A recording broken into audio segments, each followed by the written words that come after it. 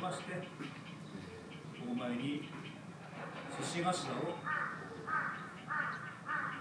祭りいたしまして、お獅子の力でもって疫病を退治して、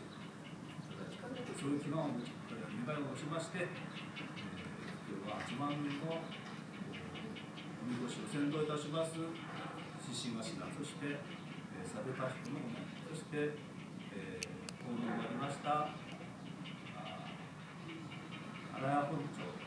の獅子そしてプラン町の獅子頭をお出ししてお渡ししたでございます獅子奮陣のごとく退治していただけるものを期待しておきたいでございます少しでも早く収束いたしまして普段通りの穏やかな生活